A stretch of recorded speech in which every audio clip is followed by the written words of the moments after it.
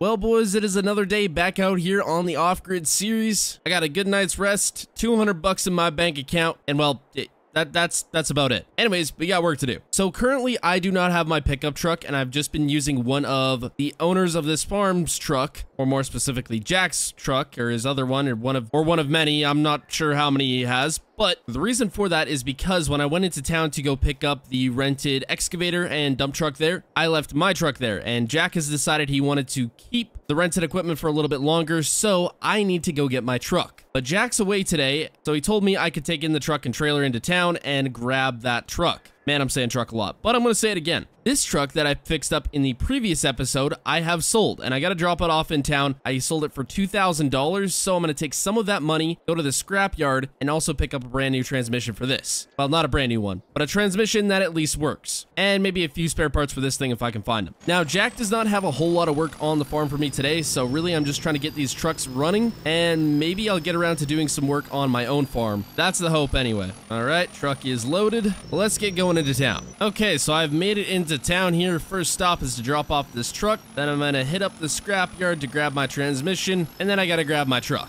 Lots to do. And there we go. Truck is sold. I bought that transmission for 280 bucks, so that leaves us with 1920 bucks. I ended up loading the transmission up in the back of my truck because there really wasn't much room on the trailer here, so we made it work.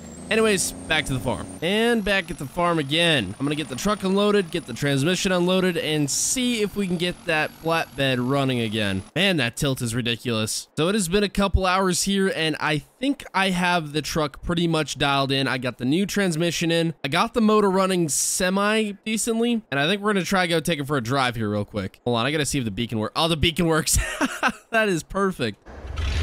Oh yeah, sounds real good. I think the uh, the muffler might be rusted out. Oh yeah, this is a perfect truck. You know how much work I'm gonna be able to do with this thing? It's way better than that Ford. It's not a better truck, it's just specked out better with the flatbed. I'm, I'm not saying the Chevy's better than the Ford. Looks like all the lights work surprisingly well. I did not expect that. The beacon working though is a, is a big plus. That's probably the coolest thing. Yeah, that is awesome. Okay, we got one more truck left to uh, finish up here, but I don't have time for that today. I gotta get some other stuff done. And this one needs a whole motor swap. I don't got time for that today at all. So it looks like I'm gonna be putting the Chevy to work here today. So Jack's wife called me and said that she had some raised garden beds that she wanted taken out. And she said if I could have them if I wanted, but uh, I think if they're in decent shape, we're definitely going to take them. You said they're the ones that are fenced in here. Yeah, these are it. These look in pretty dang good shape. So if I took these back to my uh, land here, just across the mountain, planted some stuff in them, I could, uh, you know, make some extra money that way. Heck, that's not a bad idea. I think what I'm going to do is I'm going to dig these out, load them up on the truck. We'll take them down to the uh, farm down there. And I guess the rest of the dirt here, I'll just uh, load up in something and probably take it down there so we can get these filled up too, once they're all set up A few hours of work later, and this is the outcome. Got all the boxes in, got some wood laid down, got some buckets. I just gotta figure out how I'm gonna get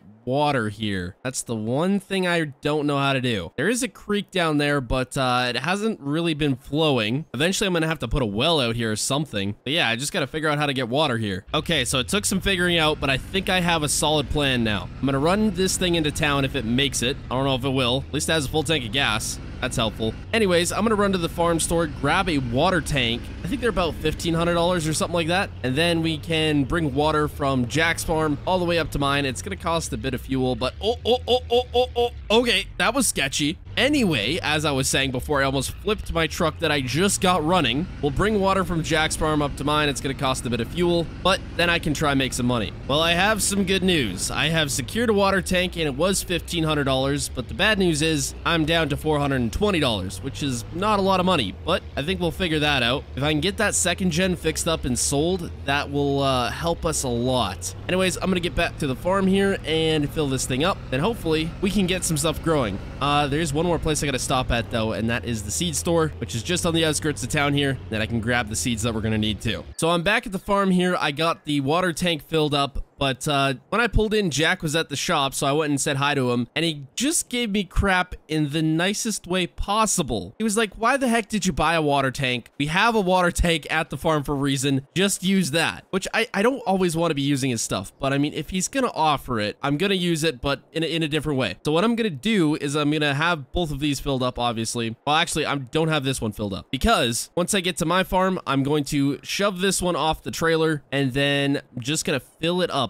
with this trailer, which is already full of water. That way his trailer doesn't have to set up at my farm and then I can just take water out of this and use it on the garden as we uh, need it. So that should work. I just can't believe the guy. He's so dang nice. Although I was gonna go and take my uh, bale trailer up, but I guess we have something else hooked up already, so that's gonna have to wait. Oh man, the old Chevy's having trouble pulling this up the hill. We're making it though. Back in my farm once again. That is such a long drive, it's not even funny. I'm gonna unstrap this. There we go. And then just slide it off. Hopefully I don't break it. I shouldn't break it. Oh, don't tip, don't tip. We're good. Slide it a bit more here, and that should be good. Now I've got this tank transferring into this tank. I'm going to try plant some of the seeds I bought, and then we should be able to start growing some things. Well, I didn't say they were the most realistic uh, raised garden beds, but we got everything full of water. The seeds costed me about 120 bucks. We're down to 300, so I don't know what uh, production's going to be like on these. I mean, obviously they're pretty fast-growing tomato plants, but I'm hoping there's some good money in them. Okay, so I got the old 620 going here, and I figured while I'm down here, I should probably get a jump on a little bit of hang if I can. That's about where my property line ends. It, it goes a little bit further, but I want to try keep this field to a somewhat manageable size, and I'm also not going to go way up on the hill there. I'm too scared of this thing tipping. Well, so far so good. This uh, sickle mower seems to be doing somewhat decent. I mean, it's slow, slow rolling, but uh, we're making it work. So update, I have some really good news. I have figured out a way with the uh,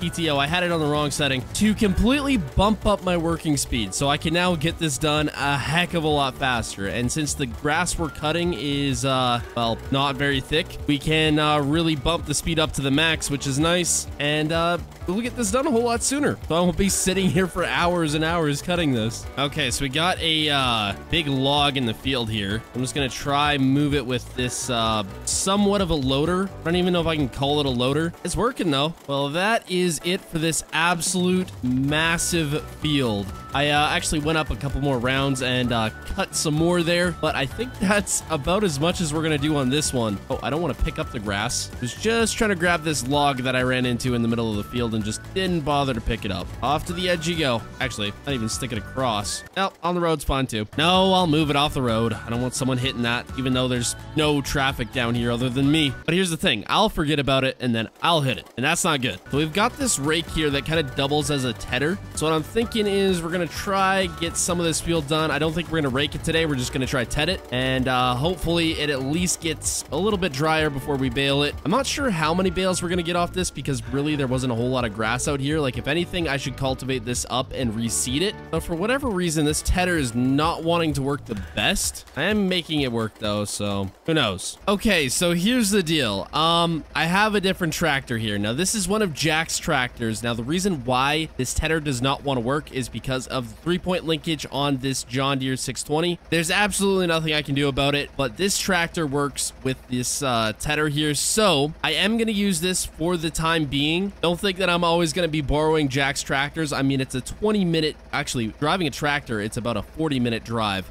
all the way from down here up to uh, Jack's place there. So this is just going to be very temporary just for this time only. And I am going to pay Jack rent for the uh, amount of time I use this tractor for, which should only be about uh, 15 minutes on here, but uh, driving it back, it's going to be a little bit longer. So it'll be about two hours, two and a half hours, something like that. So I am going to pay him $200. It only seems fair. Even though he probably won't take the money, I'm going to give it to him anyway. But maybe once I sell that second gen Dodge, I'll have enough money to go buy possibly a different tractor. Well, that tractor works. Part of it kind of sucks. So it is what it is. But this tractor, I got to say, is working phenomenally. I just really hate to borrow Jack stuff. It kind of defeats the purpose of me being off grid, but soon enough, we'll get it all figured out and fine tuned to where I can actually be off grid. Okay, so it's been a little bit here and I have some good news and I have some bad news. The good news is, is everything's tedded and I am now raking all of this into swaths. The bad news is this field is so dang length in, I don't know how many bales we're going to get out of it. So what I'm going to try do is rake as many passes into one swath as I can. So I'm not going around forever with the baler trying to get this all done. But this field definitely needs to be reseeded. I mean, it's, it's a wild grass field, so that's kind of to be expected. Well, I think that's about it for this field here. And uh, we got a little more than I thought we would after I kind of raked everything together. It looks like we got a decent amount here. I'm not sure how many bales it's going to come to. Probably not even a full trailer load, but it'll be something. Well, I made it back to Jack's farm here. I gave him the $200 even though he refused to take it. I just ended up putting it in the shop. It's only fair, but uh, he asked me if I could go do some raking. Again, So we get to use some better equipment this time at least. I get to use this 8410 and this Vermeer rake. Oh, this is gonna go so much faster. Anyways, Jack let me know that uh, he's getting the rest of the debris from the barn loaded up today and out of there, and then the builders are coming to lay down that foundation tomorrow, and then hopefully that uh, sawmill's getting built, which means we're gonna have a whole lot more work out here, but uh, gotta try to keep up with my own farm too. Oh man, this is so much nicer and so much faster. And I actually have air conditioning in here, so it's even better. Well, that turned bad pretty fast. Uh, there wasn't even rain in the forecast. And looks like this is here to stay, so I'm going to finish this pass here, and I guess I'm going to have to stop. Dang, that sucks. I really wanted to get this done so it could dry out. I hope it's not raining at the uh, top of the mountain there. That way, uh, my hay doesn't get wet, that would suck. But at least it's dried out for the most part, and it's all raked up, so even if it does rain a little bit on there, it wouldn't be the end of the world. Anyways, since I got a nice covered uh, in kind of deal here, I'm going to try work on the second gen. Hopefully, I can get the motor swapped. I got a hood there. I got to check what else is wrong with it. If nothing else is wrong wrong with it, I can at least sell it, and maybe I'll have enough cash to go buy some sort of a different tractor. Because the one I got right now just ain't gonna work, unfortunately, so we gotta figure something else out. Anyways, hope y'all enjoyed. Subscribe, and goodbye.